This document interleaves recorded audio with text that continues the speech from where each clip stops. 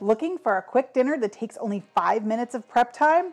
These crock pot pierogies require barely any prep time and you can set it and forget it while you go about your day. They're fast, easy, and so delicious.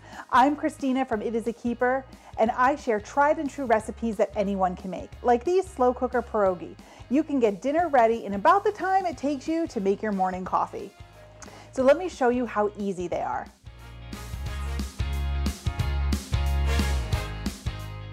So this is actually the most work you're going to have to do with these pierogi, chopping the onion.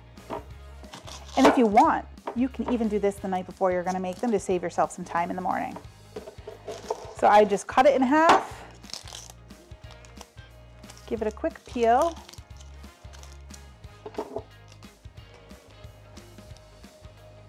If I can peel it. Oftentimes I fight with the onion skin. Oh, I've had it.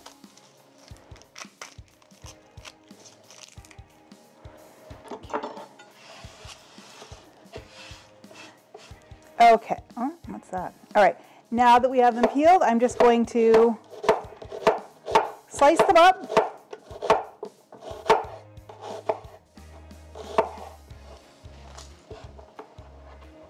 Oh, little piece of the peel stuck on this one, little skin.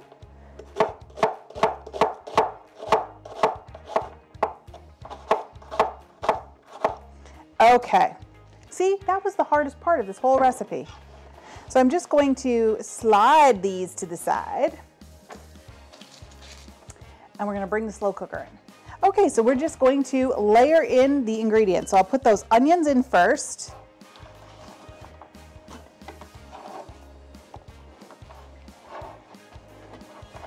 Make sure you throw them around on the floor. Okay, get those in a nice even layer. Then I'm going to put half of the butter in on the bottom and then I'll put the other half in on top of the pierogi. Okay, and then right from the freezer, frozen pierogi. Because you know what, sometimes you just need a quick win when it comes to dinner, right? We don't have to slave every night. You could just pour these in, set them, and forget them. All right. And then the rest of the butter. And that's it. Lid on, low for four hours, and you'll come back and they're done perfectly. Now, if you're walking by the slow cooker and you wanna give them a toss, give them a stir around. You don't have to, but it's nice if you could. If not, they're gonna be perfect anyway. Okay, so our pierogi have been cooking away. Ooh, they look so good. I'm gonna reach in here and grab one just to show you. Just look at that. They came out perfect. I have a plate here with some sour cream, of course. That's the best. Some people like them with applesauce though. Okay, so I just wanted to get some onions on there with it because they're so good that way. And I'm going in. Okay, some sour cream, some pierogi, some onion. Mmm.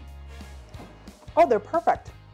So pillowy and delicious. You could do this with any kind of pierogi that you like, whether they're frozen, uh, store-bought, or homemade, just as long as they're frozen, drop them in there. I wouldn't do this with fresh ones though. I don't think you're gonna get the right consistency.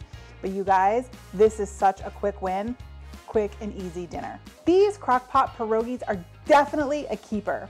I'm taking a poll. What do you like with your pierogi? Sour cream or applesauce? Let me know in the comment section below. I'm a sour cream kind of girl. And if you love pierogi, make sure you check out my baked pierogi casserole. You are gonna love it. Thanks for watching. You can get the full printable recipe in the video description below. I'll see you next time. Bye.